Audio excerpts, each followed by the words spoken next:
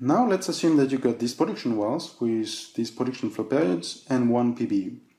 So what you can do is to plot the delta P, which is this delta P signal here. So pressure at T during the PBU minus pressure at. So you can plot this delta P in blue and its derivative in red, or the derivative of PBU pressure is the same, with respect to the superposition time. Okay? So you will end up with the delta P plot and derivative plot. And this is plot in the log-log scale.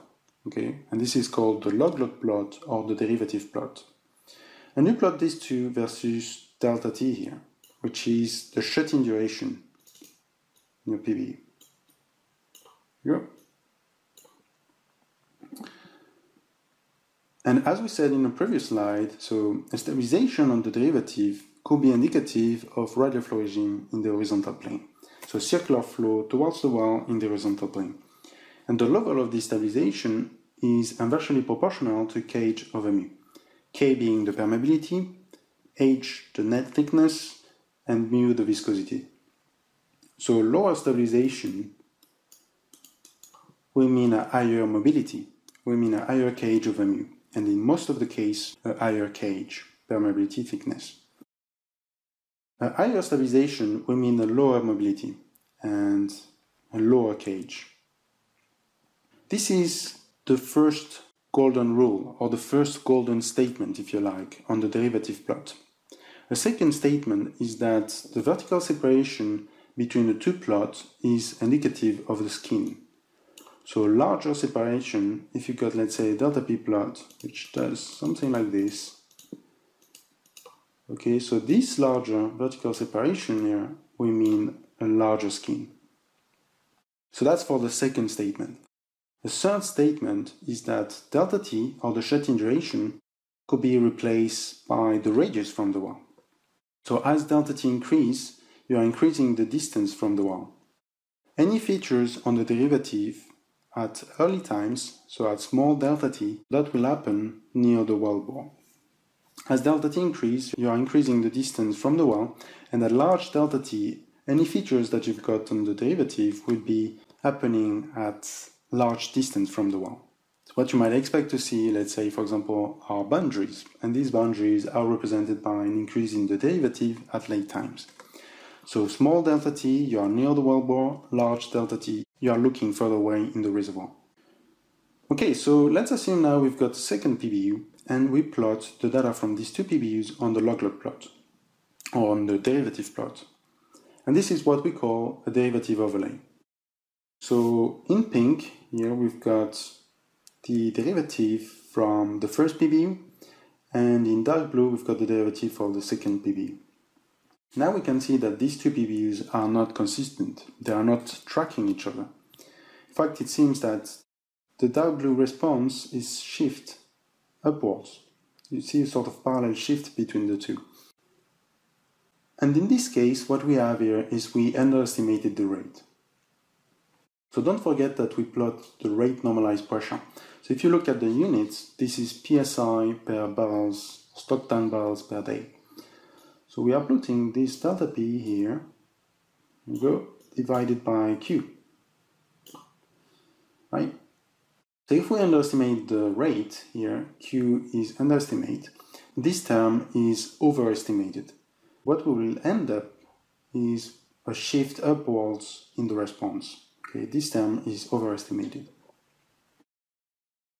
So it's important to measure the rate accurately with a production flow test, measuring the rate via a test separator or an MPFM before each PBU. So we should have a rate measurement at this point and at this point as well. So let's assume now this rate is here. So we overestimate the rate if you like. So if we overestimate the rate, this term will be underestimated. what you'll expect to see is as well inconsistency in the derivative and the blue response, so this PBU, will be shift downwards. So you can use the derivative overlay to QC the rate data. Okay, what you should expect to see with the right rate is consistency. And if you see a sort of shift in the derivative response, probably you might have some issue with the rate data. There are other factors that complicate the data analysis, and we've got a well-test session on this that you can have a look at. So if you got the right rate, now what you're going to see is consistency in the derivative response. The two derivatives share the same stabilization indicative of kh over mu, and that's dictated by the reservoir properties. So by doing a derivative overlay, that brings confidence in the data, and it's easier to identify the different flow regimes. So in this case now, you've got consistency in the derivative, you selected your radial flow regime that gives you kh, you got the total skin as well here with the vertical separation, there we go, that's ST. And now you can see that just by looking at this derivative overlay, you can see that um, vertical separation between the two plots changes. For the second PBU in dark blue, you've got a higher separation. So that means that you've got a higher skin. It means that the skin is increasing between these two PBUs. So that was to show you very simply that by doing a derivative overlay, without doing any analysis, just by looking at the plot, you can quickly monitor the well performance and diagnose production problem. So let's assume now we keep producing at an even higher drawdown and we've got a higher rate. So we try to maximize the short-term production, which in general is not a great thing to do. So here we plot on the log-log plot or the derivative plot the response from these two first PBU. And we've got consistency. So now we can have a look at this PBU here. And this is the PBU in red. So what we see now is the derivative is no longer consistent. This derivative is shift upwards early time. So you see a higher derivative early time, and then it seems as you increase delta t, or as you're looking further away in the well, it seems that it came back to the original derivative response. Okay, so when you look at this red response here, you could assume that at near the well bore, at early delta t, or small delta t, you've got a decrease in mobility, or decrease in KH, and further away from the well, large delta t, now you come back to original state. So what you have is near the well bore, you've got the zone now at the lower KH, and then what you have further away from the well. This is very consistent with a gas breakout. So near the well bore now, you've got a multi-phase region with lower permeability effective to oil as you've got presence of gas. You might not notice this gas at surface. This, the saturation of this gas might be still lower than the gas, the critical gas saturation, and this gas might not be moving, might be immobile.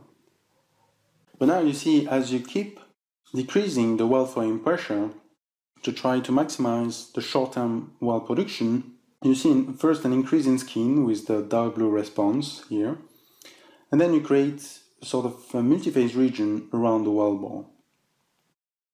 Okay, and, and this is quite common in practice. What you tend to see as you start to produce below bubble point, you start to create some gas bubble in the perforation, and this will act as an increase in skin.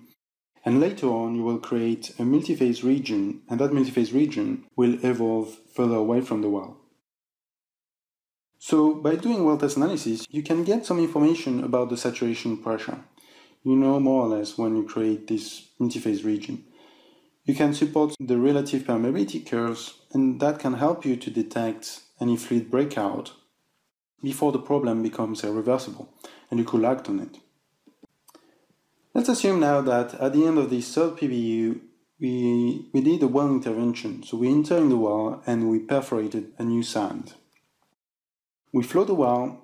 Most importantly, we took a production flow test and then we perform a small shut-in at the lower drawdown. And the post-intervention response is shown in red here. What you see now is a shift downwards in uh, the derivative. Okay, we assume we've got, we did a production flow test and we're quite happy about this production flow test.